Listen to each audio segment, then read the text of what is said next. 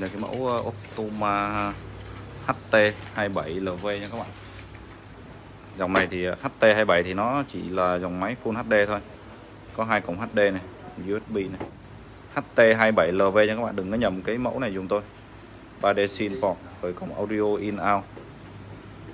Về nhìn bên ngoài chúng ta thấy được nó thiết kế là nó giống như là con ờ, VW336 hoặc là EH 336 và Ờ, về tương đương cấu hình thì nó tương đương với cái con HD 29 nhưng mà nó thấp hơn. Vì HD 29 thì nó có support 4K và HDR còn HT27LV thì nó không có support ờ, HDR nha các bạn.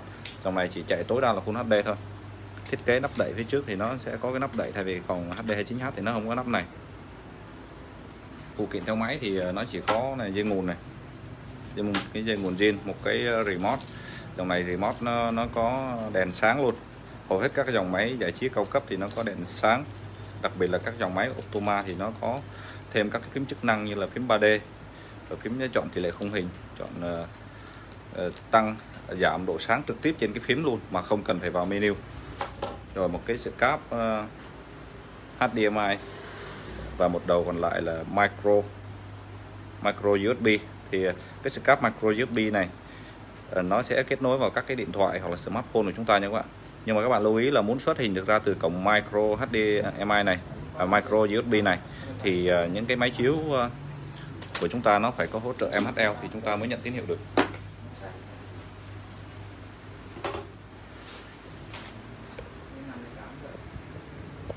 Về thiết kế thì à, hầu hết các cái dòng máy giải trí của Optoma thì nó đều có cái tông màu trắng. Và đặc biệt là các cái dòng máy độ phân giải từ Full HD trở lên thì hầu hết là đều có màu trắng cổng kết nối thì như tôi đã giới thiệu với các bạn rồi. Để tránh nhầm lẫn thì các bạn xem lại một lần nữa. Là nó hai cổng HDMI này. Cổng HDMI 2 thì có đeo. USB này là USB power thôi. USB power là nó chỉ uh, cung cấp nguồn nào 5V 1,5 A ví dụ các bạn sạc cho điện thoại và sạc cho cái bộ kết nối không dây 3D sin cổng này chắc ít khi xài tới nếu mà chúng ta muốn ờ, khuếch đại tín hiệu 3D 12V in out thì hai cái cổng ờ, này các bạn lưu ý nha trường hợp mà các bạn lấy tín hiệu vào vào một trong hai cổng HDMI này thì cái âm thanh nó sẽ ra bằng cổng này. Còn cổng phía trên này là cổng out 12V cổng này các bạn lưu ý gắn đúng cổng nha nếu mà chúng ta có nhu cầu sử dụng thì chúng ta gắn đúng cổng dùng. Và các bạn lưu ý là các cái công nghệ uh, hỗ trợ thì nó đều có ghi trên này hết. Ví dụ như Full 3D, Full HD rồi kết nối MHL rồi ờ, công nghệ DOP vân vân.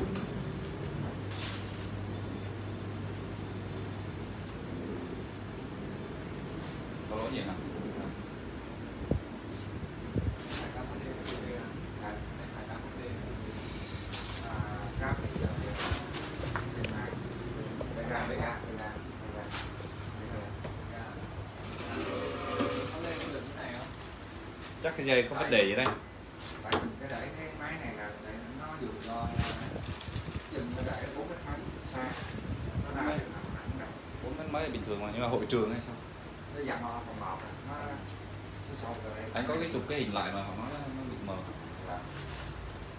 Trong này vẫn sử dụng cái đèn halogen nữa các bạn. Cho nên là chúng ta khởi động cũng phải chờ 10 15 phút.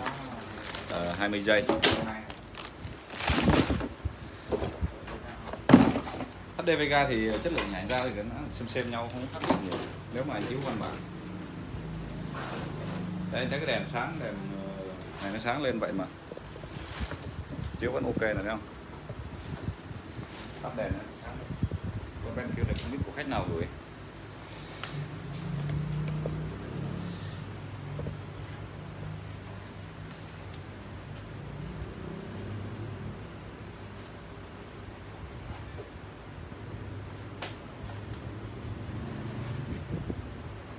Em quay nó nên em ok là lên chữ vậy là ok rồi, không cần phải test lên vậy là quá đẹp rồi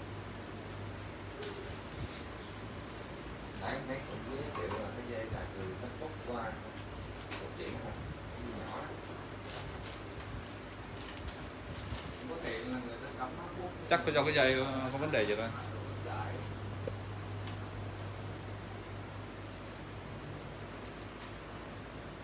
quay hướng con ấy.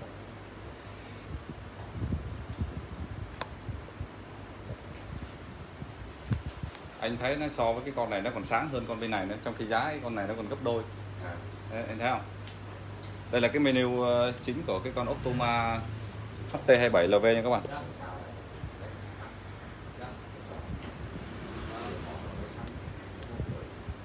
Độ phân giải thì các bạn thấy được cái dòng thứ tư từ dưới xuống là resolution thì nó chỉ lên 1080 thôi. Bây giờ chúng ta hãy thử nén nó lên độ phân giải cao xem nó có chạy không nha các bạn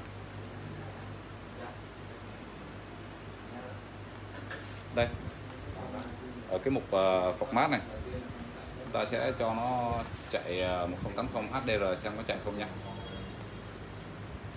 Đây, nó sẽ ờ, chúng ta thử, nếu mà chạy được HDR là quá ok này. nếu mà không chạy được HDR nó sẽ báo lỗi cái hình ảnh lên, nó sẽ không đúng màu.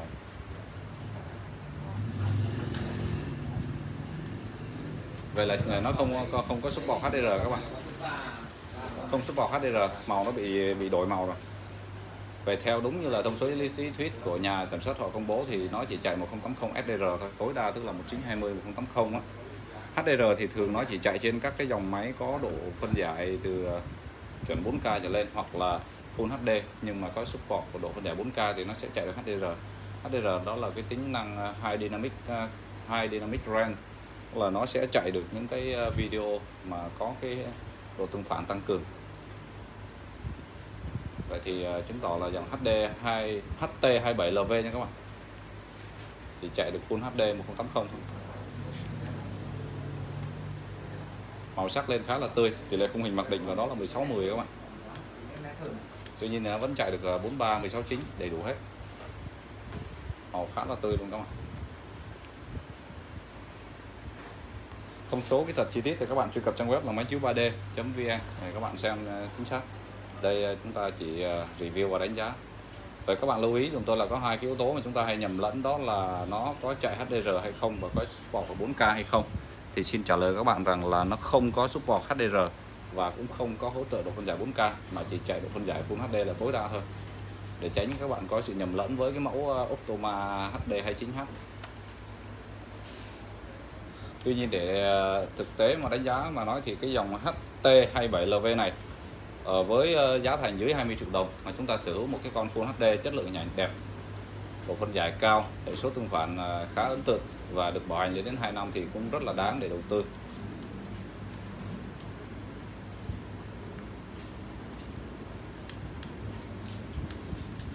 Khác với các cái dòng máy giá rẻ thì cái dòng HT27LV này, ở trong cái chế độ hiển thị thì nó có thêm một cái chế độ hiển thị là Vivid với chế độ Vivid này thì à, cảm giác là chất lượng hình ảnh sẽ được tăng cường. Màu sắc nó tươi hơn những cái chế độ thông thường mà chúng ta hay chọn như là Dynamic hoặc là Presentation hoặc là chế độ Bright. Thì tôi cảm nhận được cái chế độ Vivid này thì nó à, vẫn giữ được cái à, màu sắc chân thực và sinh động khi mà chúng ta tăng cường sáng lên.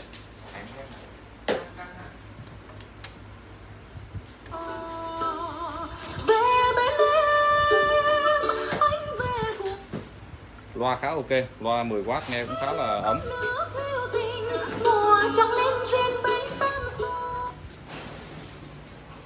Đối với những người mà lần đầu tiên chúng ta chơi máy chiếu thì cái dòng này nó vẫn hay ở chỗ là vẫn hỗ trợ tiếng Việt. Giúp à, chúng ta có thể dễ dàng được tùy chỉnh các thông số kỹ thuật nếu mà chúng ta không có rảnh ok. À, như vậy thì à, các bạn có thể truy cập thêm trang web là máy chiếu 3D.vn để xem thêm về cái dòng là Optoma HT27LV nha các bạn. HT7LV hiện tại đang có khuyến mại giá cực kỳ tốt tại công ty ờ, máy chiếu VNPC các bạn đừng quên là cái dòng này vẫn hỗ trợ chế độ xem phim Full 3D đây là một tính năng mà không thể thiếu được trên các cái dòng máy chiếu giải trí ờ, Full HD khi mà chúng ta muốn xem phim ờ, 3D thì chúng ta chỉ cần đầu tư thêm các cái dòng kính DOP kính này các bạn có thể mua trên trang web là linh kiện máy chiếu.com.vn cảm ơn các bạn đã cùng tôi